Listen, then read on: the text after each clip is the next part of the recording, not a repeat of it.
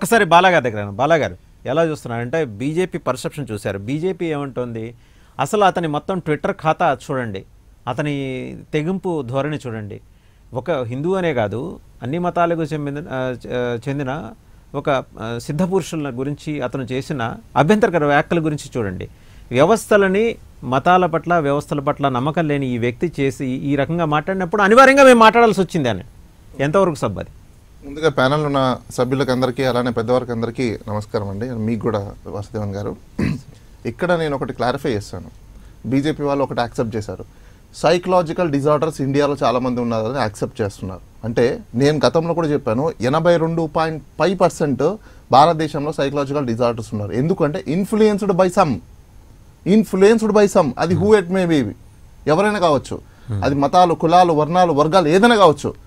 అది సినిమాల్ని చూసి అంటారా లేకపోతే ఇంకోటి అంటారా ఇంకో ఏదైనా కావచ్చు. బట్ ఇన్ఫ్లుయెన్స్ అయితే అవుతున్నారు. సో ఇదే ఇన్ఫ్లుయెన్స్ని బీజేపీ వాళ్ళు చెప్పకనే వాళ్ళు ఏం చెప్తున్నారు అంటే మేము ఎస్ ఈ భారతదేశంలో ఇన్ఫ్లుయెన్స్ చేసే ఈరోజు మేము ప్రతి ఒక్క మానవుడి భారతదేశంలో ఉన్న ప్రతి ఒక్కరిని కూడా కంట్రోల్ చేస్తున్నాం. మా చెక్కు చేతుల్లోనే వీళ్ళందరూ బతుకుతున్నారు యాక్ట్ అవుతున్నారు అని చెప్పగానే చెప్పినట్టు చెప్పేశారు అయితే. అయితే సిద్ధార్థ ట్వీట్ చేసిన దాని విషయానికి వస్తే ఒక ఒక ఒక పాయింట్ ఆఫ్ వ్యూలో తీసుకున్నప్పుడు బీజేపీ వాళ్ళు ఏమని చెప్పారంటే ఆయన ట్విట్టర్ అకౌంట్ మొత్తం చూడండి. చూసినప్పుడు అందులో కంప్లీట్గా ఆయన డిసప్పాయింటెడ్ డిసగ్రీ మీదనే ఉన్నారు అని అంటున్నారు. ఎస్ ఒక పాయింట్ ఆఫ్ వ్యూ తీసుకుందాం. ఆయన ఏమన్నారు? అన్ని మతాలకు వర్ణాలకు వర్గాలకు సంబంధించిన దీంట్లో అన్ని ఆల్ రిలీజియస్లో ఎవరిని కూడా కించపరచడం అంటే ఏంది? తిట్టడం కించపరచడం అంటే బేసిక్గా తిట్టడం కంటే ఆయన బిలీఫ్ సిస్టమ్ ఎవరిది వాళ్ళకే. నేను గాడ్ని ఎవరిని అనుకుంటాను నేచర్ని అనుకుంటాను. కొందరు గాడ్ని ఎవరు అనుకుంటారు? శివుని అనుకుంటారు. కొందరు గాడ్ని ఏమనుకుంటారు? విష్ణుని అనుకుంటారు. కొందరు గాడ్ని ఏమనుకుంటారు? రాముడు. అలానే అల్లా అలానే జీసస్. ఎవరికి వాళ్ళ బిలీఫ్ సిస్టమ్ సపరేట్ ఉంటుంది. సో ఎవరి బిలీఫ్ సిస్టమ్ని ఎవరు కూడా కిల్ చేయరు. ఎందుకంటే ఒక్కొక్క మనిషికి పుట్టిన తర్వాత వాళ్ళ పేరెంట్స్ ఏం ఐడియాలజీ నూరిపోస్తారో ఈ బ్రెయిన్ ఎలాంటిదంటే మన కంప్యూటర్ లాంటిది. మీరు ఏమైతే ఫీడ్ చేస్తారో అదే బ్యాక్ వస్తుంది.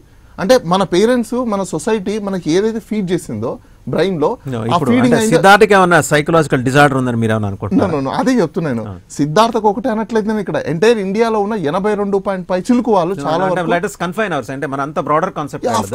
సిద్ధార్థ ఇష్యూ వల్లే ఇవాళ మన ఈ రోజు చర్చ జరుగుతోంది. మీరు కూర్చుంటున్నారు వాళ్ళు మాట్లాడుతున్నారు. నేను అదే అంటున్నాను. సిద్ధార్థకి సంబంధించి ఏమన్నా ఒక సైకలాజికల్ డిజార్డర్తో అతను బాధపడుతున్నాడా? ఈ రకంగా ఏదో ఒక వైలెంట్ ఎలిగేషన్ చేయడం ద్వారా ఒక మొత్తం ఎంటైర్ జనాల దృష్టిని ఆకర్షించాలి డ్రా చేయాలి అనే ఐడెంటిటీ క్రైసిస్ అయితే కాదు. ఇక్కడ నేను అసలు ఐడెంటిటీ క్రైసిస్ అనే వర్డ్ నేను తీసుకురాను. బాజీ గారి మాటలైతే స్పష్టంగా ఉంది. అంటే ఐదేళ్ళుగా సినిమాలు లేవు ఖాళీగా ఉన్నాడు కాబట్టి ఎలాగైనా జనాల అటెన్షన్ అటెన్షన్ చేసుకున్నంత మాత్రం అతనికి రెమ్యునరేషన్ రాదు. అటెన్షన్ చేసుకున్నంత మాత్రం సినిమాలు ఏం తీసుకురారు. జనాలు మాట్లాడుకుంటారు అంతే కానీ తనకు దాని వల్ల వచ్చే లాభం అయితే ఏమీ లేదు. బట్ బై ద బై ఇక్కడ ఒక కన్సిడరేషన్ మనం తీసుకున్నప్పుడు ఏమవుతుందంటే మీకు ఈయన ఎన్నో సినిమాలు చేశాడు. ఎన్నో స్టోరీలు విని ఉంటాడు. ఎన్నో రకాల ప్లేసెస్కి వెళ్ళి ఉంటాడు. అక్కడ ఇన్ఫ్లుయెన్స్ అయినవి ఈయన జీవితంలో ఇన్ఫ్లుయెన్స్ అయినవి ప్రతి ఒక్కటి ఇన్ఫ్లుయెన్స్ చేసుకుని ఇప్పుడున్న కరెంట్ సర్కమ్టెన్సెస్ని మ్యాచ్ చేసుకున్నప్పుడు కాన్ఫ్లిక్ట్ అనేది ఎక్కడో జరుగుతుంది. ఇప్పుడున్న కరెంట్ సర్కమ్టెన్సెస్ ఏంటి? కోవిడ్ మనుషులు చచ్చిపోతున్నారు. అతను ఏం బిలీవ్ చేశాడు? దేశం అంటే మట్టి కాదో దేశం అంటే మనుషులు అని బిలీవ్ చేస్తుండొచ్చు.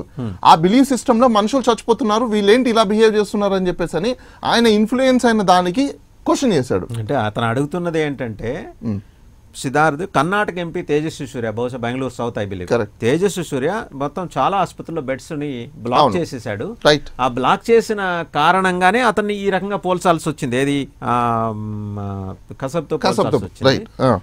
బ్లాక్ చేసినప్పుడు దాన్ని ప్రాపర్గా గవర్నమెంట్ స్టేట్ గవర్నమెంట్ ఒకటి అక్కడ ఉంది. ఒక నోడల్ ఏజెన్సీ ఉంటుంది. అక్కడికి తీసుకెళ్ళటం ఇంత వైలెంట్గా రియాక్ట్ అయిపోయి ఈ రకంగా వాళ్ళని నిందించి తర్వాత వాళ్ళందరూ నన్ను తిట్టేస్తున్నారు నన్ను థ్రెట్ నన్ను థ్రెటన్ చేస్తున్నారు నేను అదే కదా అంటున్నా. సైకలాజికల్గా ఆయన ఇంబ్యాలెన్స్ అయిపోయాడు. ఎందుకు ఇంబ్యాలెన్స్ అయిపోయాడు? అతని కరెంట్ సర్కమ్టెన్సెస్కి అతని ఫీడింగ్లో ఉన్న మైండ్లో ఉన్న ఫీడింగ్ ఎర్లియస్ట్ సర్కమ్టెన్సెస్కి మ్యాచ్ చేసినప్పుడు ఇక్కడ కాన్ఫ్లిక్ట్ వచ్చింది. ఏం కాన్ఫ్లిక్ట్ వచ్చింది? హ్యూమన్ కాన్ఫ్లిక్ట్ వచ్చింది. నువ్వు ఒక హ్యూమన్కి ఐ మీన్ సెక్యూర్ చేయాల్సిన పర్సన్ నువ్వు ఇలా సెక్యూర్ చేసేసుకొనేసి హ్యూమన్కి ఎక్కడ కూడా ఫ్రీడమ్ ఇవ్వకుండా అంటే ప్రాణాలకి ఫ్రీడమ్ ఇవ్వకుండా చేసుకున్నప్పుడు అతను ఇంకొకటి ఎవరితోనో పోల్చాడు. ఎందుకు పోల్చాడు? బికాస్ ఆయన యొక్క సర్కమ్టెన్సెస్లో జరిగిన ఇష్యూస్ ఆయన మైండ్లో ఫీడ్ అయ్యాయి కాబట్టి ఇమీడియట్లీ రియాక్ట్ అయింది. అంటే ఆ పేరు బాలాగారు ఇంత డీప్ అనాలిసిస్లోకి జనం సాధారణ జనం. వెళ్ళరండి. వెళ్ళరండి. చేయరు కాదు వెళ్ళరు.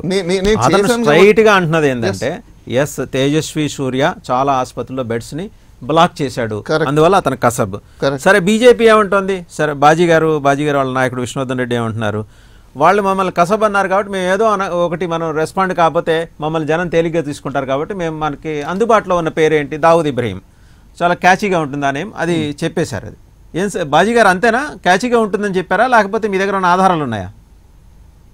ఇప్పుడు ఒక ఉగ్రవాదిని తీసుకొచ్చి భారతదేశానికి పరిచయం చేయడం కోసం ప్రయత్నం చేసినప్పుడు మా పార్టీకి పెట్టినప్పుడు ఆయన రంగానికి సంబంధించి అదే ఉగ్రవాద సంబంధాలు ఉన్నటువంటి వ్యక్తి ఎవరైతే ఉన్నారో ఆ వ్యక్తి వ్యక్తితో కూడా సంబంధాలు ఉన్నాయి అతనికి ఎలా అనుమానం ఉందో మాకు కూడా అదే అనుమానం ఉందని చెప్పారు సార్ అనుమా అనుమానం ఉంది పోలుస్తున్నారా లేకపోతే ఖచ్చితంగా ఉంది అని అనుకొని చెప్తున్నారా నేను ఈ ట్విట్టర్ని చదివి?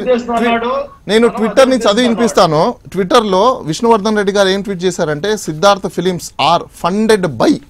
Funded అన్నారు. అంటే మేబీ అని అది ఎక్కడ రాయలే. అంటే డౌట్ఫుల్తో రాయలేదు. అంటే కాంకరెంట్ ఇన్ఫర్మేషన్ ఆయన దగ్గర ఉండి ఫండెడ్ బై అని రాశాడంటే ఆయనకు తెలుసా? ఒకవేళ తెలిసి ఉంటే మాత్రం ఆయన ఒక రెస్పాన్సిబిలిటీ సిటిజన్ అయి ఉండి అలానే బీజేపీలో ఒక రెస్పాన్సిబిలిటీ నాయకుడు అయి ఉండి ఆయనకు తెలిసినప్పుడు ఎందుకు దీన్ని ఆయన ఒక కాంపిటెంట్ అథారిటీ దగ్గర తీసుకెళ్ళలేదు? ఒకటి నేను ఏమంటానంటే ఎవరైతే ఇప్పుడు ఈ ఈ ఇష్యూని తీసుకొచ్చి దాన్ని తీసుకొచ్చి ముడేయడానికి చేసినటువంటి ప్రయత్నం చేసిన వ్యక్తికి సంబంధించినటువంటి రంగం ఏదైతే ఉందో అంటే ఆయనకు గతంలోనే తెలుసా? చేసినటువంటి వ్యక్తి లింకులు ఉన్నటువంటి వ్యక్తి ఎవరైతే ఉందో ఆ వ్యక్తితో లింకులు ఉండబట్టే ఇతను కసబ్బని అతను వెంటనే ఇస్తాడు అనేటువంటి మాట మేము చెప్పాల్సి వచ్చింది. సార్ నేను అదే అంటున్నాను ఎందుకు గుర్తొచ్చాడు ఇతను కంటా నేను? నేను. దావూద్ ఇబ్రహీంకి భుజాలు తోడుకునే దానికన్నా కూడా కసబ్ అనేటువంటి దుర్మార్గమైనటువంటి వ్యక్తిని తీసుకొచ్చి సూర్యతేజ లాంటి ఒక భారతీయ జనతా పార్టీ ఎంపీ ఈ పార్లమెంట్లో ఉన్నటువంటి ఒక సభ్యుడికి అటాచ్ చేసి అతనితో పోల్ చెప్పడం అనేది ఎంత ఎంత దాష్టికమైన విషయం ఎంత దౌర్భాగ్యమైన విషయం అతని ఆలోచన ఏ తీరులో ఉంది? ఇప్పుడు ఆరు- ఐదో రౌండ్ లోనో ఆరో రౌండ్ లోనో అతను మల్టిపుల్ పర్సనాలిటీస్ బయటకు వచ్చి రాత్రి మూడు కూర్చొని ట్విట్టర్ ముందు కూర్చొని ఏ ప్రియులలో పిలిస్తే రాకపోతే వైరాగ్యానికి గురై ఈ విరక్తి వచ్చినటువంటి మాటలు తీసుకొచ్చి సమాజానికి అంటించడానికి ప్రయత్నం చేస్తే ఖచ్చితంగా బుద్ధి చెబుతాం. బుద్ధి చెప్పే విధానంలోనే అతనికి ఉన్నటువంటి సంబంధాలను కూడా మేము అనుమానం వ్యక్తం చేశాం. అది లింక్ అయి ఉంటుందని కూడా మేము నమ్ముతున్నాం. ఇప్పుడు అతని మీద కూడా దర్యాప్తు చేయాలనేటువంటి ఆలోచన తీసుకురావాల్సిన పరిస్థితి అవుతుంది. పర్దాజ గారు చెప్పినటువంటి చిన్న విషయం అయినప్పుడు కూడా ఈ చిన్న ఎలిమెంటే సోషల్గా సమాజాన్ని డిస్ట్రక్షన్ చేసేవాడు. ఒక సైకిల్ బాంబు పెట్టేవాడు. ఒక మసీదు ముందు వెహికల్లో బాంబు అమర్చేవాడు. ఎక్కడో కూర్చొని ఒక రూపంలో వచ్చి తిరిగి ఆ సమాజాన్ని నాశనం చేయాలనుకున్న వాడు కూడా ఇలాంటి రూపాల్లో తిరుగుతూ ఉంటారు. It's our allegation we are also complaining this